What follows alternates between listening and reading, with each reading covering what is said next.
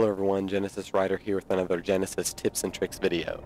Today I'll be looking at some SWAT gameplay on the map Adrift. This was one of the best SWAT games I've ever had considering I was a CSR 46 at the time in the SWAT playlist that I played. We were playing against definitely players who knew what they were doing. I was playing alone in the playlist without any teammates and I've had a love-hate relationship with this map, specifically in SWAT, for a very long time. One of my problems is not knowing where to be. Um, I, I typically will spawn, basically run around or rotate through the map, clockwise or counterclockwise, running and running and running and gunning until I die. And unfortunately, this has never really worked out for me unless I was facing people who didn't really know what they're doing. The strategy that I'm about to show you, however, is much more passive, but it does fit in under a six minute game, so it's very um, easy to share with you guys. And this strategy um, is to basically hold a base and minimize your deaths while surprising enemy players using your surround sound headset.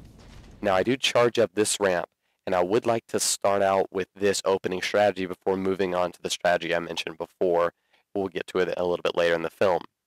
Off your respawn, you probably want to be running through box hall, but I knew most of my teammates were already going to be doing that, running through the box hallway, sprinting, jumping as you cross this doorway, because there can be enemy players over there, jumping as you cross the doorway so they can't headshot you, coming over here and jumping on top of this little barrel and looking straight there where this guy's head is about to peek out.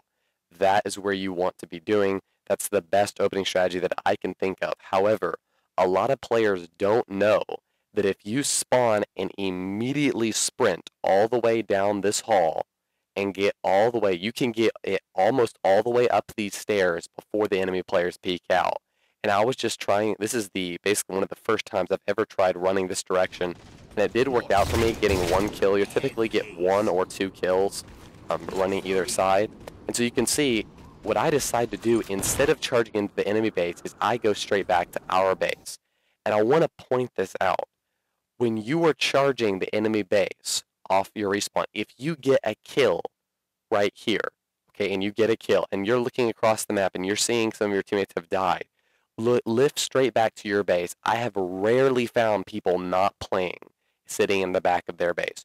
Don't lift into the enemy base. It's extremely tempting to do so because you think, oh, when I lift into the enemy base, I'm going to be behind them and I'm going to be able to, you know, run up behind them. No, that's actually not true by the time you lift it to their base, they're in your base. By the time you get to your base, they'll be back in, in their base. It's a vicious cycle. You have to break the cycle, and that's what I'm attempting to do here.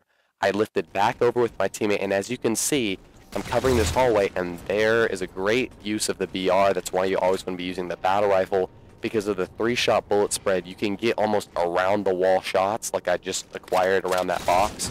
That player did surprise me. That's one of only four deaths I acquire in this film. Um, very impressive as far as the drift goes.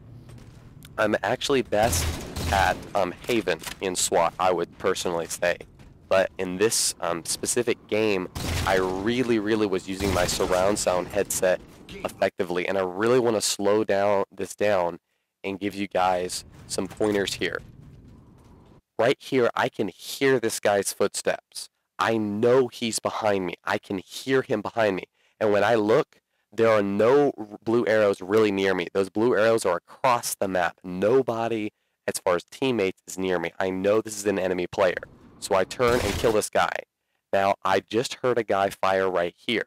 And if there was a guy over here, he would immediately know that I was over here because he would have seen the shots and he would have seen his teammate's red X pop up where this guy just died. So I'm going to jump out and in fact, he jumps out first. This guy is, gets embarrassed for the triple kill. Um, I don't know why he didn't shoot me out of the sky earlier, but you can trade kills like that. It's very possible. Um, and when you lift over, you always, always want to be jumping. You, as when you lift over, always jump. Now, I want you to watch what I do here. I know this guy just lifted. I can hear him lift, and I'm just going to patiently wait for him to overextend, and then boom, I'm going to catch him off guard. And I see his teammate over here, so I'm wondering, should I pursue that? Should I pursue that? Is he going to notice that I just got this kill over here? Is he going to turn around and come back at, at me? So I'm going to try to um, see if this player is here, but luckily my teammates clean him up. And I'm just going to be sort of holding and staying around in this base. And it, it, this this kind of game, and that, that's a really lucky, me checking the attic right there. You do want to be checking the areas quite consistently. I would notice how I'm using this wall as cover, but when I check this list, I'm just using this wall as cover, and then I'm going to sort of um, peek out. You see how I just peeked out and looked straight at this doorway in case someone had come through? It's all you're always at the plan ahead. Look look at where they're going to be. Aim where they're going to be. And preferably, if it's a lengthy enough ways away, you want to be zooming and jumping so that you can zoom, jump into their head, and fire, and they're never going to know what hit them. And right here, I'm just using my headset, and um, you probably want to turn up your volume a little bit. I'll try to speak a little bit more softly for you guys. But um, basically, with a surround sound Astro A40 headset, um, you can check up what my setup is in the description of this video. You can basically hear people, and you can hear their footsteps, and specifically on Adrift when they lift into your base. And I just want you to notice how I'm checking all the angles in this base. I'm just holding this base, I hear this guy lift over, and immediately pwn him in the head. That's exactly what you can do with a surround sound headset. You can't do this if you have necessarily just a normal, if you're playing with your speakers. You may be able to hear that someone lifted or maybe hear that if you had the volume high enough, but a surround sound headset puts the volume right on top of your ear. You'd be basically deaf if you couldn't hear the lift. Um, now, yes, the ambient noise of the map is a little bit louder, and I and that sometimes bothers some people but I love to hear the little intricacies, especially in SWAT, the BR fire across the map. And again, this is just a slower part of the game. I'm just checking all the spots again, but I want you to notice how many times my teammates are dying um, across the way. They're just sort of running around, sprinting around the outer edges of the map and dying. And I'm just holding this base very, very carefully. And it, to me, it's amazing. Um, this film is under six minutes long, and yet it feels like a really long time. I think a lot of people in SWAT, um, and I, again, I heard that guy lifting, um, a lot of people in SWAT feel like when they're not getting kills, the game is going super slow. As compared to a big team battle game, you may not get a few kills, and you may be like, oh, well, there's still action going on because there's so many people. But in SWAT, people people like freak out when they don't get uh, kills in 30 seconds or so.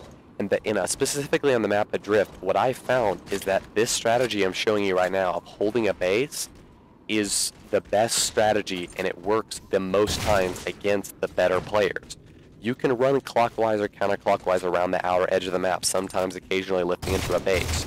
But staying in a base when you have a surround sound headset and just using, turning up that volume, using your awareness to know where the players are. And again, I know this player is there, okay? you may not believe me. I hope I hope that you understand how important this is. Um, right here, having heard this guy, I can listen and I hear someone shoot behind me, but there's no blue arrows on my HUD. The blue arrows, my three blue arrows are all the way across the map. I know there's a guy behind me, okay? And so I'm just going to wait behind this box and notice how I jump out and aim right where his head's going to be and hit him. That's exactly what I'm going to be doing. And I can hear this guy. I know this next guy is going to be in this hallway. I can hear him walking in that hallway. Okay, I know he's going to be there. Now, if your teammates are hanging out, and sorry for the brief black screen there, that's what happened in the game. Um, I think uh, one of the enemy team players quit, maybe rage quit or something. Um, in these games, it is important to remain patient on maps like Adrift and Complex specifically on Adrift, you cannot play Adrift like you might play Haven. where You're getting kills every 20 seconds or so, or maybe even definitely under that. Um, this is a much more slower paced map. And I would like to say that the st strategy I just used of pushing into this hall, looking this way, and using this wall as cover, then moving over here, peeking out and looking down this, staying behind this box and then looking this way. That's a very valid strategy. And you want to jump when you're going back across this hallway so that you can jump using this ledge as a cover for your head so that the enemy players don't see you. That's a good good tip for all the doorways really in those hall those hallways jumping right as you go across them, especially if you're not looking through that that doorway, um, people could be looking through that doorway and killing you. My teammate gets the final kill there. So guys, I hope you enjoyed this SWAT Adrift gameplay. I hope it helped you understand maybe how to play SWAT better on Adrift. Um, now let's go to the stats screen and see how I did. So as you can see right here, I do get 19 kills and 4 deaths. And I want you to specifically notice the varying numbers from not only my teammates, but from the enemy team. Look at the enemy team player who went 18 and 20. He got a lot of kills, but also a phenomenal number of deaths. And that's what I'm trying to point out is on Adrift, when you're playing the map, you may feel like the game's going very slowly if you're using the strategy that I detailed in this video. But I can promise you that this is one of the maps where when you play it slow, you tend to do better. Okay, for whatever reason, each of my teammates getting 13 kills each, one just going positive 4. I have 5 less deaths than him and 6 more kills than him just from hanging back in a base and guarding my angles. So once again, I hope you enjoyed this video, and I'll see you on the next capture or whatever end up recording. Peace, guys.